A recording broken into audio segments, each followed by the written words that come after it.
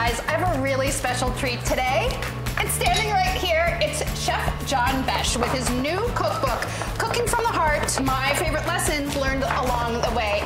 And it's all about his journey as a chef. He's from Louisiana. He's the chef of nine restaurants, the author of three books, the host of a TV show, everything. He's the full package, guys. He's an amazing, amazing guy. Keep talking. And he's here to show us how to make moule provençal. You just can't foul up a mussel. I just absolutely love cooking them, love Yes. eating them. There's a process there that brings back so many great memories of Yeah. being in Provence and cooking with just ordinary people in the backyard. It's so easy, very inexpensive, and so delicious. Let's start Okay. cooking. All right, I'm gonna turn it on. So you tell me, what am I doing with these garlics? All right, so this, just take uh, take your garlic, and I like just to slice it. Slicing just 'em. as thin as you can. Okay, I can slice really thinly. I don't know if John knows that. Oh, look at that! You're such a good slicer. Oh, I'm such a good slicer, and I can look at the camera while I'm doing it. Mm-hmm. So four large cloves of garlic, sliced very thinly. John sliced four scallions, yeah, maybe. A handful of scallions. Okay. All right. So garlic, fennel, fennel fronds though. I yeah. love to throw the fronds in. That slight anise flavor just brings out the sweetness that naturally occurs in the mussels. And it's a great way to use everything that you have. I use this a lot of times as a substitute for like just a little bit of tarragon. So Oh yeah, you know, tarragon can be kind of overwhelming, and the fennel isn't, and plus it's free when you buy your fennel bulb. Is that good? I love that. I love the free. It's free. Cover the bottom of the pot mm-hmm. with olive oil. It's not that important to measure all this Half out. a teaspoon of olive oil. And I'm also watching so that when it heats up, it starts just to waft just a little bit and it's ready to go. it's wafting. John used my favorite word. He said wafting. I say waftability. All right, now add your garlic. All Let's right. just sweat this garlic a little bit. Into the pan, garlic. One of those like chefy terms that I kind of love and I kind of hate, like let's sweat the Sweat the garlic, sweat- aromatics. So it's really all about intensifying the flavors, and it's like mm-hmm. these green onions. They have like this sweetening effect Right. on everything else. John has a bunch of mussels And so obviously they're all clean. because we do that ahead of time here. This is so nice. Just chop these tomatoes. You can just rough chop. And Rough chop. These are mostly rope culture these Yeah. days, so you don't have a lot of sand. You can get wild ones, and they'll still need to really be So every now and then, I just want to test them, make sure. So this was slightly open, and then he's closing up, or she actually. How can you tell? Well, Is there a she had way? that attitude. Sassy. I feel like we've been monitoring the heat so that it doesn't burn, but I bet we can turn it up now. So medium high heat. The vegetables Mm-hmm. are nice and soft already. We've added the tomatoes. We'll just cook those for a moment. I'm Eight. adding just a Salt. touch of salt. I always add salt at every stage. I add it with my aromatics. I add it when I add my meat. By the way, I just add added it some chili. end.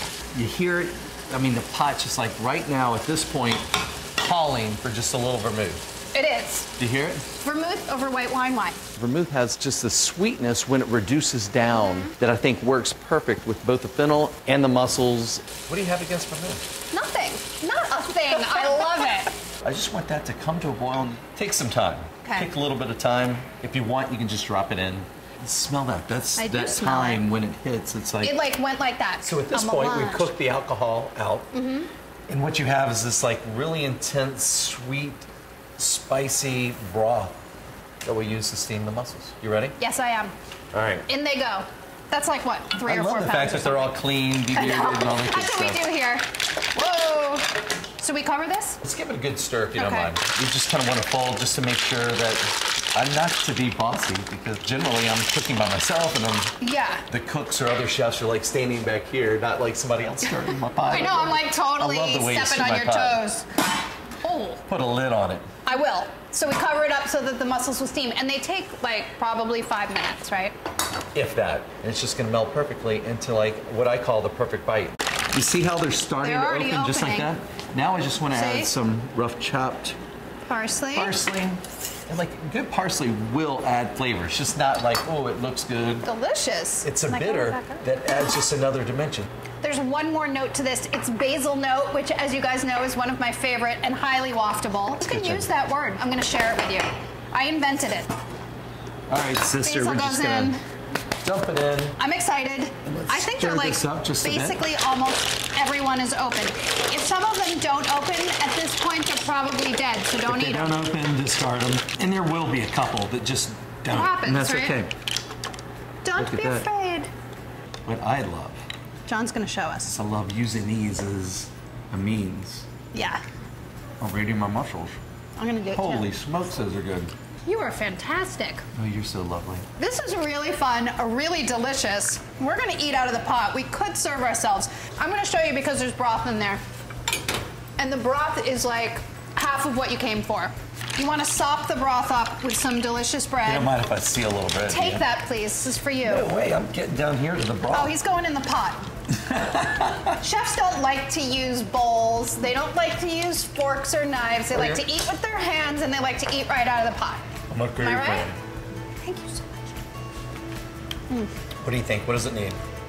I don't think it needs anything. Tell them how great it is. It's so good, it doesn't need anything. Follow the recipes in John's book, and you are gonna be happy. Start with this one. I Thanks, love John. how you're digging into the pot too. Oh, I mean, what else is there to do? Chef John Besh. Oh, wait. This is his book. Go out and get it. I love it. I love John. You're gonna love John. Get his book. Yum. Perfect breakfast, too. I was hungry. We offered food to you. Oh, no, what's up? So you were way too nervous. Well, I saw you. I know.